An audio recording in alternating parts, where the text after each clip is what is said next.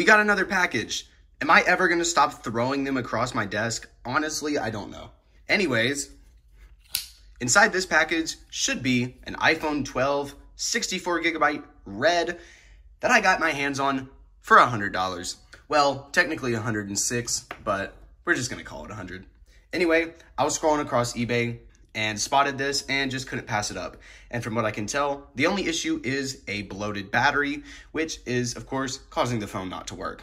So I picked it up as there's no iCloud account tied to it with hopes that I will be able to put the working battery that is inside of my old iPhone 12 Pro housing inside of this iPhone 12 that I bought. And just in case the screen that is super puffed out is non-functioning, my good iPhone 12 Pro right here has a functioning screen that just has a tiny OLED dot. Anyways, without further ado, let's open up this bubble mailer.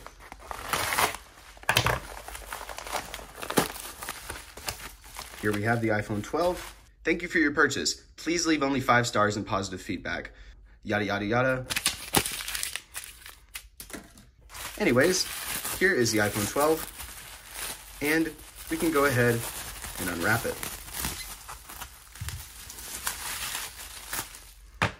Now, at first glance, this iPhone 12 doesn't even look that bad. You can see the back is pretty badly cracked, and the screen is of course cracked as well, but here's where you can really see that battery popping out. Now, it definitely does have some pretty severe wearing all across the phone, but honestly, not bad for what I paid for it. Now, I'm gonna do something pretty stupid and take the risk of connecting this phone to a power source and just hope it doesn't blow up. As you can see, we have an Apple logo, and from what the seller told me, the phone just boot loops, which would be the cause of that bloated battery.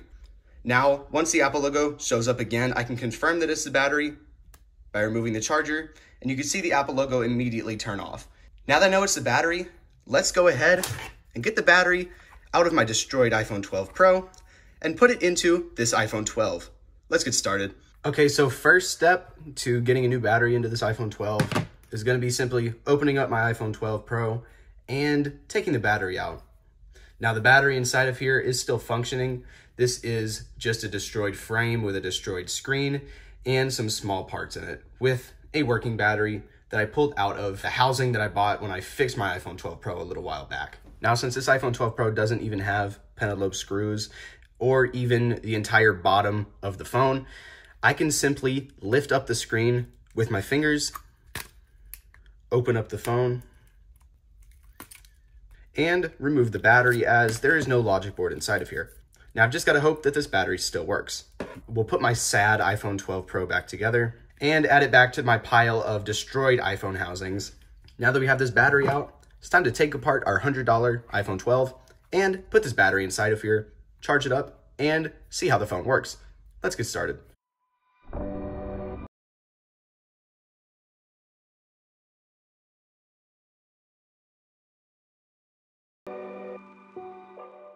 Upon opening the phone, we're greeted with a very clean looking iPhone 12, considering what the outside of the phone looks like. Now, as you can see, that battery is severely swollen and is most definitely the cause of what's going on with this screen popping out. Thankfully, as you saw when I charged the phone, the screen is not broken, so I will not need to steal the one off of my good iPhone 12 Pro. Instead,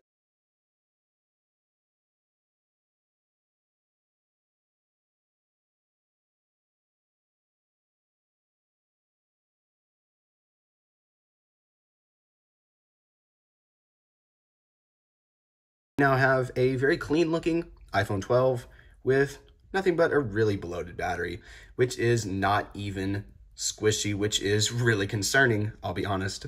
And I opted to go ahead and remove the screen just to make it a little bit easier on myself while removing the battery. And you can see how this screen is permanently bent thanks to this bloated battery. Anyways, let's go ahead and get this old battery out and put the new one in.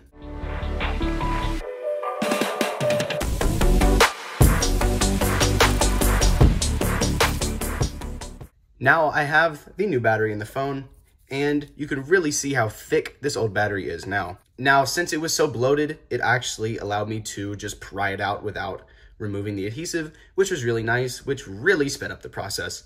Now, I have not put all the brackets and screws back into place yet. I'm going to do that after I confirm that everything has gone successful with the repair. But first, I would like to go ahead and see if this battery has enough charge to display that the phone is dead. And it looks like it does not.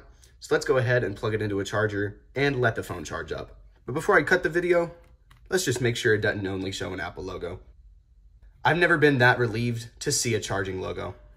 20 minutes later. All right, the phone has turned on to a six digit passcode screen. And of course, I do not know the passcode and the seller does not either. But now that I know that it works, I'm gonna go ahead and fully put it back together with all the shields and stuff that it typically has.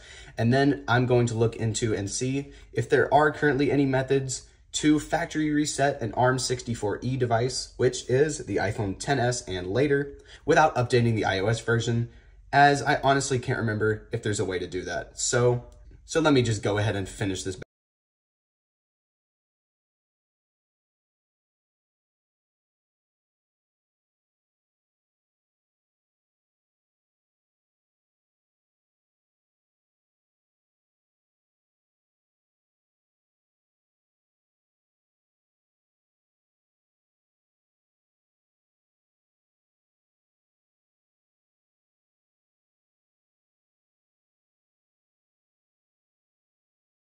Now, I've gotten the phone completely put back together and you can see it's on the lock screen, just like it was before. And now after looking back on my calendar, I noticed, as I noticed that the date is still preserved as most likely the last time this phone was used, I went ahead and checked and the last time that November 9th fell on a Thursday was 2023. So I am assuming this phone is running iOS 17.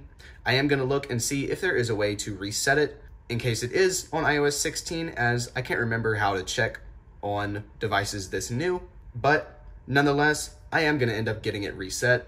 But first, I need to do some research. Five minutes later. Okay, so after a little bit of research, as I originally assumed, there is no way to reset it, and it's most likely on iOS 17. I did not take the time to figure out how to check.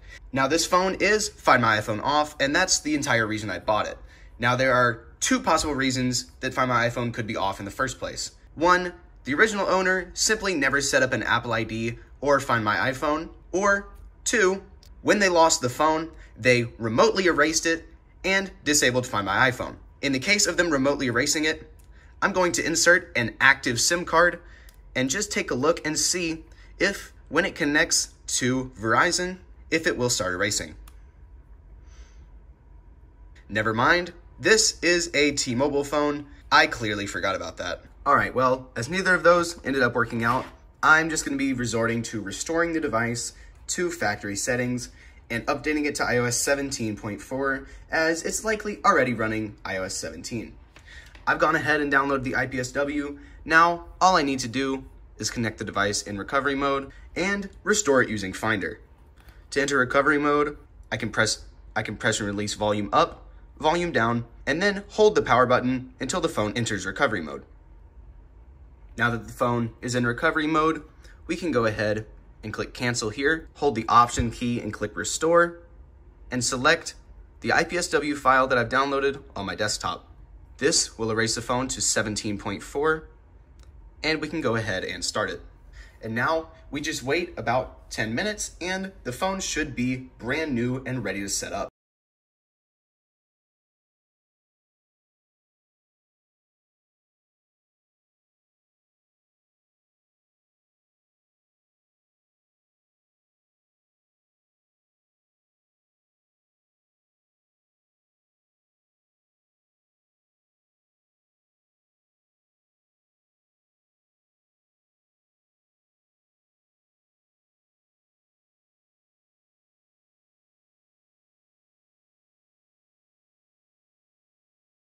Here we have the iPhone 12 completely reset, and I find it kind of weird that it is displaying iPhone lock to owner, as when I run an IMEI check, which I did just now after resetting it, the iCloud lock is still showing as off.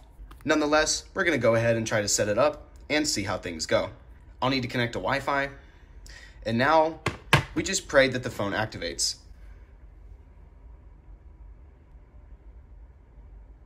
As you can tell, the phone did activate just fine. I was definitely a little bit scared there. I'm going to be 100% honest. We'll go ahead and continue setting up the phone for myself. And let's test out Face ID. It looks like Face ID is fully functioning, and we'll test it out once we set the phone up.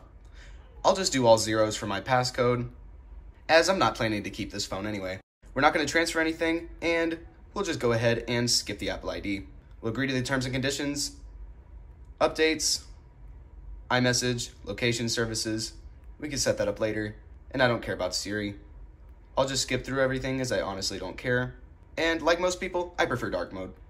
Now we'll get started and you can see we have an important battery message, of course, as I did put a different battery into this iPhone 12.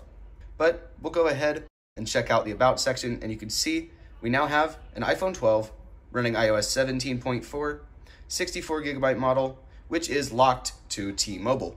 And I do also want to see if we have the original screen, and it appears that we do, so that's definitely a bonus. Overall, this has been quite a fun video to make, and a successful repair and resurrection of a broken and neglected iPhone 12. I'm really happy with how this repair turned out, and having this battery message opposed to the phone not working at all is definitely a plus. So what am I going to be doing with this phone? If you check out my eBay page at the link in the description or up in the top right right now, you'll see this phone listed on eBay with a starting price of $195 with offers. I'm willing to go lower, but that's just where I'm starting. So if you'd like to purchase this iPhone 12, check out my eBay and snag it before anyone else does. Anyways, that just about wraps this up. But if you're new here, please consider subscribing as as of right now, only a mere 20% of my viewers are actually subscribed. So if you're new, hit that subscribe button as it will greatly help me in reaching my goal of 4,000 subscribers. Anyways, thank you guys so much for the support on my newest videos. I really appreciate it, as this was my childhood dream to run a YouTube channel. Anyways, enough yip yapping. Thank you guys for watching. Comment, like, and subscribe. And as always, peace out, guys.